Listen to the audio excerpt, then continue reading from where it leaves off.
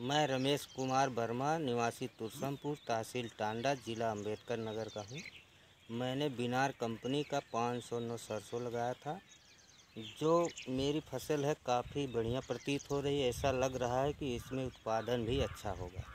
तो फिर किसानों को क्या सलाह देंगे आप? मैं किसान भाइयों को यही सलाह दूँगा कि अधिक से अधिक बिनार कंपनी का पाँच सौ नौ सरसों लगाएँ और अधिक मुनाफा कमाएँ।